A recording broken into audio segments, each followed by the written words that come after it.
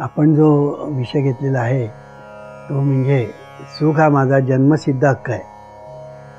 आणि या विषयाच्या संदर्भात आपण आतापर्यंत खूप विवेचन केलं विश्लेषण केलं विवरण केलं निवेदन केलं.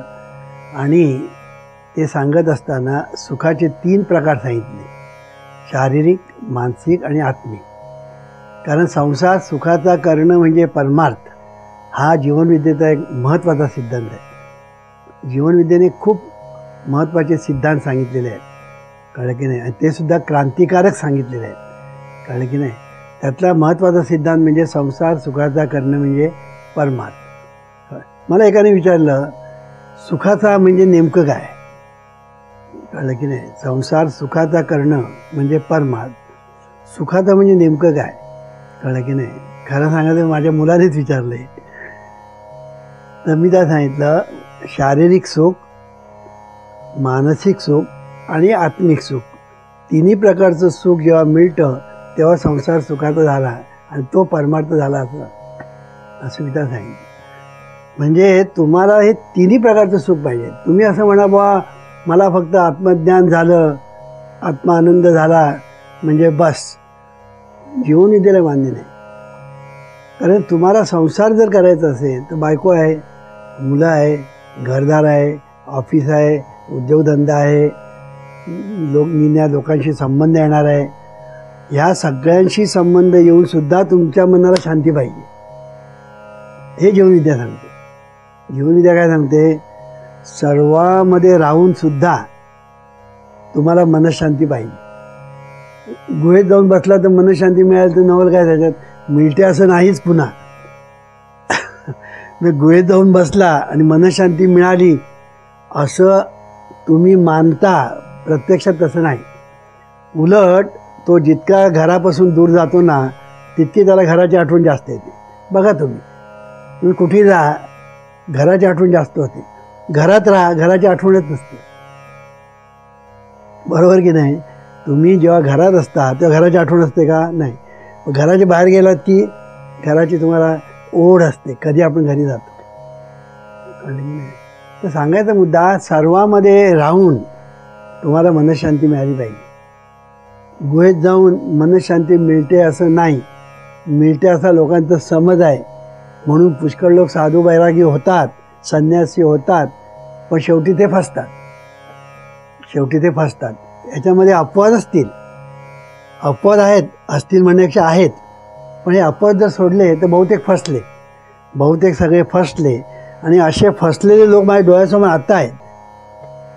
असे फसलेले लोक माझ्या डोळ्यासमोर आत्ता आहेत. कळलं की नाही? की ही मंडळी संसार सोडून गेले. बायको मुलं घरदार सोड नोकरीधंदा सोडून गेले. फसले. कळलं की नाही? परत आले नाही कधी सांगायला. मग माझं काय झालं? वास्तव परत यायला पाहिजे की नाही? बाबा मी तिकडे गे गेलो. सगळा संसार सोडला. आणि मी तिकडे जाऊन आनंदी झालो सुखी झालो. असं सांगायला यायला पाहिजे की नाही? कोणी परत आलेले नाहीत. जे गेले ते गेले. आणि एक जो मला भेटला बायको मुलांना सोडून गेलेला नोकरी धंदा तो जाताना असा होता आणि मी जेव्हा त्याला बघितला तो असा झाला होता. असा मरतुकडा झाला होता. मी काय सांगतो आहे मी लोकांना सावध करतो आहे की लोकांनी कुठल्याही परिस्थितीमध्ये बायका मुलांना सोडणं घरदार सोडणं नोकरीधंद्याचा त्याग करणं जबाबदारीतून पळवाट पलायन करणं हे जीवनविद्येला मान्य जीवनविद्या असं सांगते तुम्ही संसारात राहा तर अशा खुबीने राहा की संसारात असून नसल्यासारखं. हे कसं शक्य आहे? शक्य आहे. सगळं शक्य आहे. कळलं की नाही? मागल्या काही वेळा मी उदाहरण दिलं होतं की फणस कापताना हाताला चीक लागतो. कळलं की नाही पण तेल लावून मग फणस कापा. ते चिकट चीक लागत नाही. तसं संसारामध्ये राहा एरवी संसाराचं चीक लागेल. पण नामस्मरण करा विश्वप्रार्थना म्हणा सतत. सतत म्हणजे क्षणभरी कामधंदा सोडून नव्हे. आणि बघा संसारामध्ये तुम्ही सुखी होता की नाही. मी आमच्या हजारो नामधारक दाखवू ते सुखी झाले. संसारात राहून सुखी झाले. कळलं की नाही? कारण का? कारण संसारात राहूनसुद्धा संसाराचं जे चीक जो आहे दुःख जे आहे ते अंगालाच लागणार नाही अशी व्यवस्था नामस्मरणाने होते. मुळात दुःखच निर्माण होत नाही. आणि जर झालं तर ते निघून जातं आणि ते अंगाला लागत नाही. कळलं की नाही? तेव्हा हे कशाने होतं? नामस्मरणाने होतं. पण नामस्मरण जेव्हा आम्ही म्हणतो तेव्हा नामस्मरणामध्ये प्रगती झाली पाहिजे. येईल तैसा बोल रामकृष्ण अरे हे खरं आहे. कळलं की नाही. पण तिथेच राहून चालायचं नाही. किंवा श शिकायचं असं ग्रॅज्युएट व्हायचं असेल तर तुला के जीमध्ये जायला पाहिजे. गमभन रसतळ हे शिकलं पाहिजे. ए बी सी डी नंतर श्री गणेशाय नमा हे जी सुरुवात आहे शिकलं पाहिजे. आयुष्यभर तेच कर करत बसला तर चालेल का? नाही. मग नामस्मरण मग मी सांगितलं मागल्या प्रवचनात की नाम नामी अभेद हे लक्षामध्ये घेऊन नाम घेणं हे जास्त महत्त्वाचं म्हणून नामी म्हणजे कोण? नाम ज्या ज्या देवाचं नाम तो नामी. तर राम. राम हा नामी राम हे नाम. कृष्ण. कृष्ण हा नामी कृष्ण हे नाम. विठ्ठल. विठ्ठल हे नाम आणि विठ्ठल ज्याचं नाम ज्याचं तो विठ्ठल हा नामी. म्हणजे नामी आणि नाम हे लक्षात ठेवायचं. अभेद आहे. पण इथे पण लक्षात ठेवलं पाहिजे. ते अभेद आहे कुठून? वस्तूकडून अभेद आहे. नामाकडून अभेद नाही. हे बऱ्याच लोकांना कळत नाही. बऱ्याच विद्वानांना कळत नाही हे की वस्तूकडून नामनामी अभेद आहे. नामाकडून नामनामी अभेद नाही. तुम्ही म्हणा हे काय हो आम्हाला समजत नाही सांगतो. तुम्ही बायको बायको बायको बायको म्हटलं पण लग्न झालेलं नाही तर तुमच्या डोळ्यासमोर काय येणार? बायको हे नाम येईल. पण बायको ही वस्तू येईल का? नाही ना बायको हे नाम तुम्ही घ्याल. पण बायको कुठे आहे? बायको तर बदलत नाही. मग डोळ्यासमोर कोण आणणार? कोणी आणू शकत नाही. इथे नाम नामी अभेद नाही. आता लग्न झालं. आणि बायकोचं नाव घेतलं. काय झालं? बायकोचं नाव घेतल्याबरोबर डोळ्यासमोर कोण आलं? बायको आली. नाम नामी अभेद. कळलं की नाही? अगदी सोपं आहे. आता नाम नामी अभेद दुसरं मी उदाहरण देतो. आंबा आहे. आंबा. हा आंबा हिंदुस्थानच्या लोकांना माहिती आहे. पण अगदी फॉरेनमध्ये जे अगदी परदेशातले लोक आहेत ज्यांनी आंबा कधी पाहिलेलाच नाही. कळलं की नाही?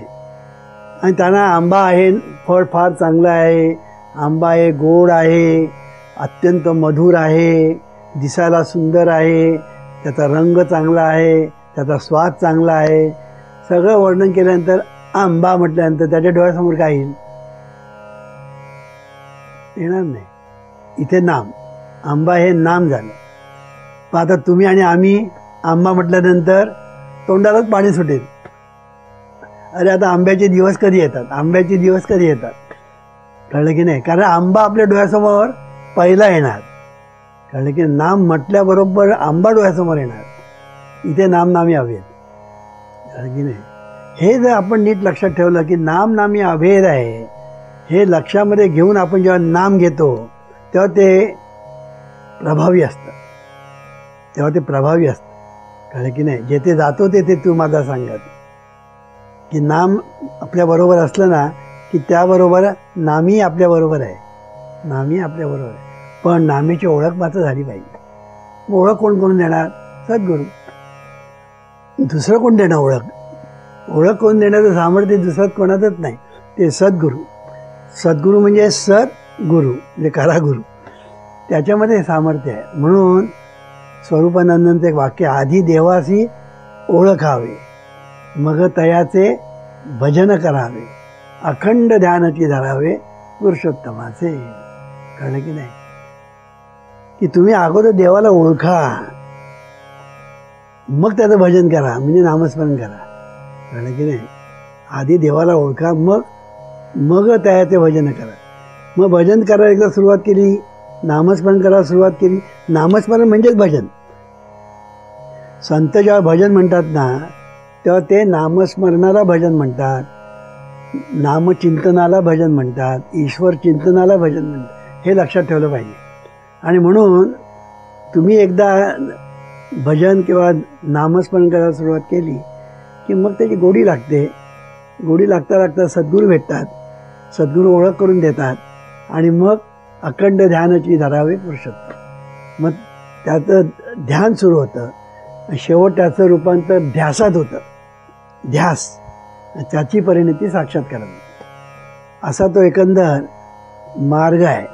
कळलं की नाही? पहिलं नामस्मरण. मग त्याची ओळख. मग त्याचं चिंतन. म्हणजे भजन. भजन करता करता करता करता करता सद्गुरूची भेट. मग लागतं ध्यान. आणि ध्यान करता करता लागतो ध्यास. आणि त्याच्यातून होतो साक्षात्कार. असा एकंदर मार्ग आहे.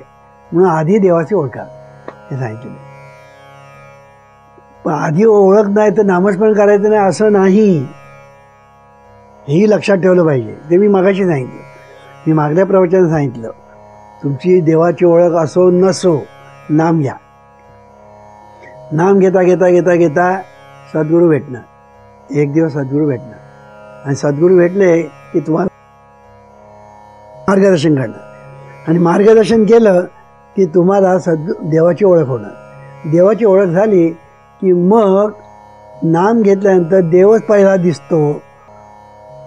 नामी पहिला नाम त्याच्याबरोबर असं होतं. मग अशी मी उदाहरणं दिली. तेव्हा हे लक्षात ठेवलं पाहिजे की आपल्याला प्रगती केली पाहिजे. आणि प्रगती करता करता करता त्याच्यासाठी आपल्याला सद्गुरू पाहिजे. त्याला पर्याय नाही. म्हणून नाम नामी अभेद हा फार महत्त्वाचा सिद्धांत नामस्मरणाच्या शास्त्रामध्ये आहे. याने काय आहे? अगणित पुण्य मिळतं. आणि ते फार प्रभावी लवकर मिळतं. नुसतं नाम घेणं आणि नाम नामी अभेद यांनी नाम घेणं ह्याच्यामध्ये फरक पुष्कळच आहे. कळलं की नाही? हां. नंतर नामस्मरणाचा आणखीन एक प्रकार आहे. तो म्हणजे श्वासात नामस्मरण करणं. कळलं की नाही? आपला जो श्वासोश्वास चालला की नाही? हा श्वासोश्वास चाललेलाच असतो. चाललेला. बरं का? आपण तो करत नाही तो चाललेला असतो. तुम्ही जरी केला नाही ते तुमचा बाप करील. कळलं की नाही? तो आपोआप चालतो. नाक धरून किती वेळ बसणार? नाक धरून किती वेळ बसणार? शेवटी मग तोंड उघडायला पाहिजे. श्वास घेण्यासाठी तोंड तरी आ करून किती वेळ बसणार? शेवटी नाकाने श्वासोश्वास केलाच पाहिजे. सांगायचा मुद्दा असा की श्वासोश्वास चाललेला आहे. चाले शरीर कोणाची हे सत्ते कोण बोलविते हरिविण चाललेलं आहे म्हटलं ना ते चाललेलं असतं. श्वासोश्वास चाललेला आहे. कोणाच्या सत्तेने? त्याच्या म्हणजे देवाच्या. तेव्हा हे हा जो श्वासोश्वास चाललेला आहे तो श्वासोश्वास त्याच्यावर लक्ष ठेवायचं. फक्त त्याच्याकडे लक्ष ठेवायचं.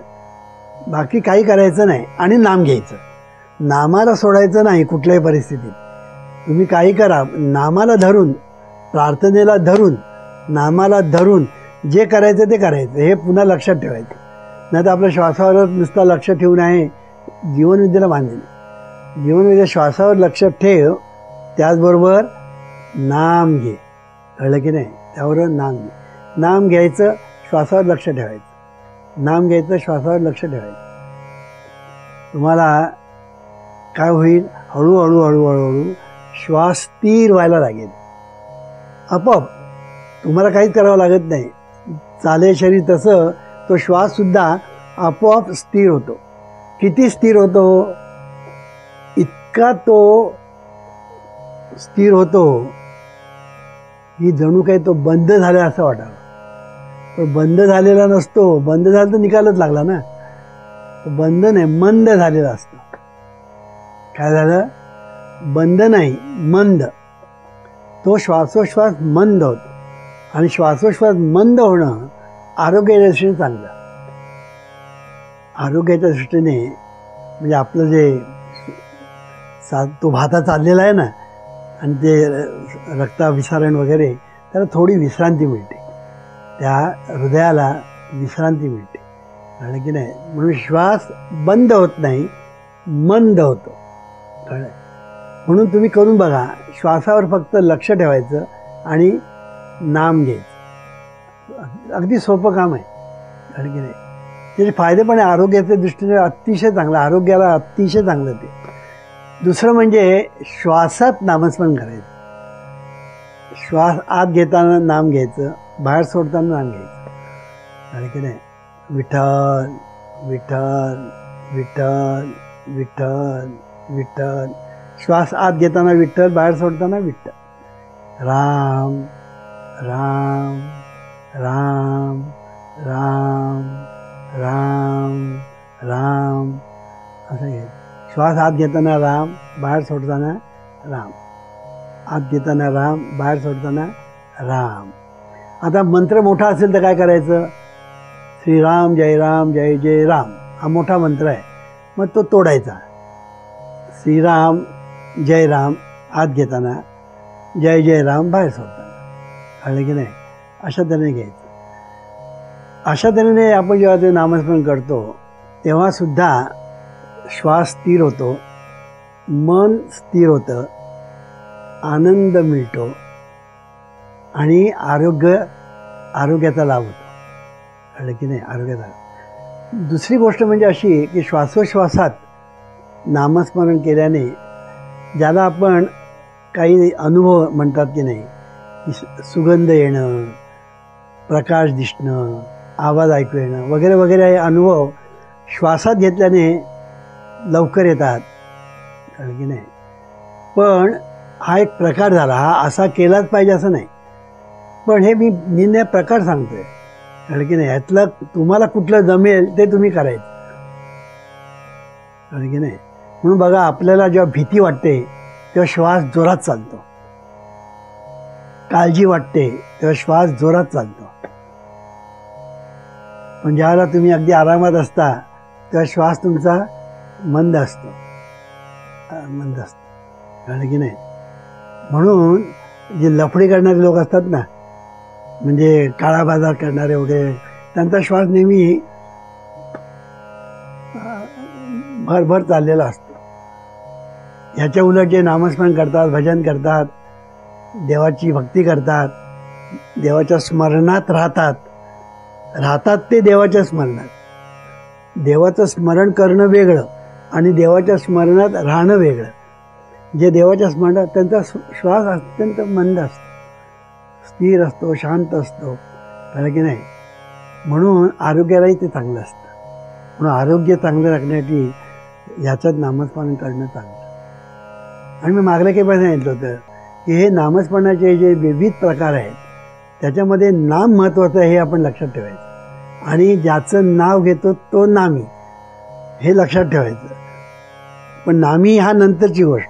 नाम हा अगोदरचा गोष्ट म्हणून नामस्मरणाने आपल्याला अगणित पुण्य मिळतं. मग नाम कसं घ्यायचं? येईल तैसा बोल रामकृष्णारी सुरुवात. मग नंतर मग त्याच्या पायऱ्या. कारण की नंतर पाहिल्या मग काही लोक देवाची मूर्ती डोळ्यासमोर आणून नामस्मरण करतात. काय वाईट नाही. देवाची मूर्ती डोळ्यासमोर आणली म्हणजे काय वाईट आहे असं नव्हे. कारण की नाही? तर देवाची मूर्ती डोळ्यासमोर आणून सुद्धा नामस्मरण केलं चांगलं आहे ते. पुष्कळ लोक असं करतात देवाची मूर्ती डोळ्यासमोर आणून नामस्मरण करतात. कळलं की नाही? ज्याला जे जमेल ना ते त्यांनी करावं. हे जीवनविद्या सांगते. तुला जे जमलं ते दुसऱ्यांना जमेल असं नाही. तुला जे जमलं ते तुला दुसऱ्याला जमलं ते दुसऱ्याला. कारण का? व्यक्ती तितक्या प्रकृती. व्यक्ती तितक्या प्रकृती असं आपण म्हणतो. की प्रत्येक व्यक्तीना ही ती तशीच असते.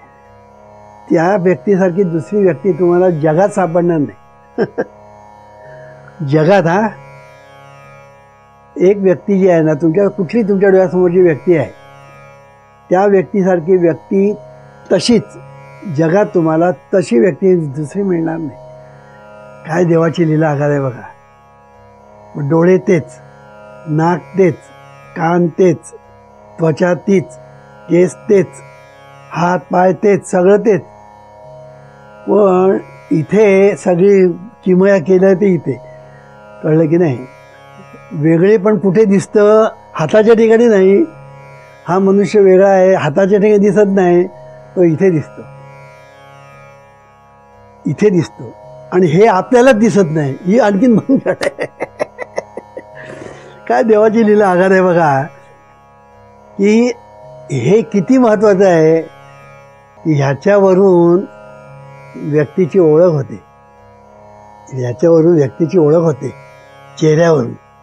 तो चेहरा आपला चेहरा आपल्याला दिसत नाही सगळे पाहतात पण आपल्याला दिसत नाही. हा चमत्कार. मग चमत्कार पाहिजे ना किती चमत्कार? तुम्ही पाहाल तिथे चमत्कार आहात. पण आपण ते चमत्कार बघत नाही. आपला चेहरा आपल्याला दिसत नाही हेच लोकांना माहीत नाही अगोदर. हे मी सांगितल्यानंतर लोकांना कळलं. मला म्हणाले वामनराव तुम्ही तुम्ही तर आम्हाला कळलं. तो पण आम्हाला माहितीच नव्हतं आपला चेहरा आपल्याला दिसत नाही. की नाही हे मी काय सांगतो आहे की जीवनविद्येने हे जे काही नवीन नवीन सांगितलेलं आहे ना हे आपण नीट लक्षात ठेवायचं की देवाची लीला देवाचं महत्त्व देवाचा प्रभाव हा तुम्हाला ठाई ठाई पाहायला मिळेल. देव आहे कुठे देवाला रिटायर करा अमुक करा तर ह्या बोलण्यात काही अर्थ नाही. देव आहे हे तुम्हाला निर्णय प्रकाराने अनुभवता येतं. आता अनुभवायचंच नाही असं ठरवलं. कळलं की नाही? मी पाण्यात हात घालणारच नाही. मग आता भिजणार कसा? पाण्यात हात घातल्याशिवाय भिजेल कसा? पाण्यात हात घाल म्हणजे भिजेल. नाही नाही मग मी हात घालणार नाही आणि भिजला पाहिजे. तर बस बोंबलत. तसं देवा देवाला तर तुला अनुभवायचं असेल ना. सोप्या सोप्या मार्गाने तो देवाला अनुभव येतो. अरे तुझा चेहरा तुला दिसत नाही. त्याचं काय? सांगायचा मुद्दा असा की अशा तऱ्हेने नामस्मरणाचे विविध प्रकार आहेत. कुठल्या नामस्मरणाचा प्रकार आपण घ्यायचा ते तू ठरवायचं आहे. म्हणून तूच आहेस तुझ्या जीवनाचा शिल्पकार.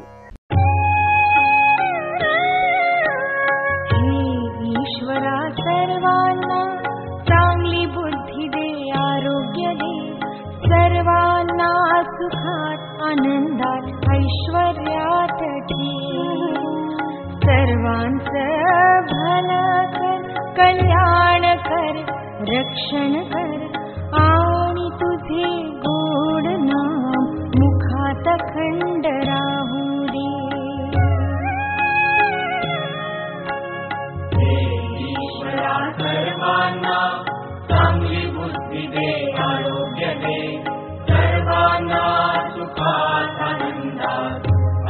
Mariani.